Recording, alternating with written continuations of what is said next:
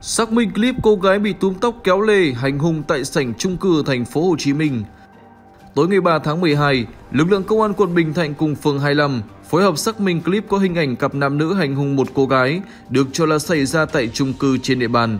Cụ thể chiều ngày 3 tháng 12, mạng xã hội lan truyền clip về cảnh hành hung cô gái xảy ra tại sảnh chung cư, nơi đông người. Bước đầu xác định vụ việc xảy ra vào 11 giờ 30 phút ngày 19 tháng 11 tại chung cư LB ở phường 25 quận Bình Thạnh.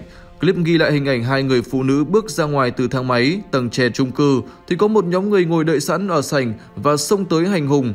Trong nhóm người này, chủ yếu là cặp nam nữ lao vào hành hung cô gái mặc áo thun vàng. Người đàn ông đã nắm tóc cô gái áo vàng và kéo lê trước sảnh chung cư. Người đàn ông liên tục hỏi và dùng chân đá vào cô gái áo vàng, còn người phụ nữ đi cùng đàn ông cũng có những hành động tương tự. Khi clip được chia sẻ, nhiều ý kiến trách móc hai bảo vệ của tòa chung cư khi chứng kiến vụ việc nhưng chỉ khuyên can mà không có động thái xử lý quyết liệt. Nhiều người bất bình, bức xúc về thái độ và cách hành xử của đôi nam nữ với cô gái áo vàng.